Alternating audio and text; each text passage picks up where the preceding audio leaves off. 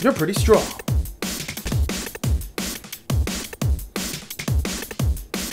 But... Ha!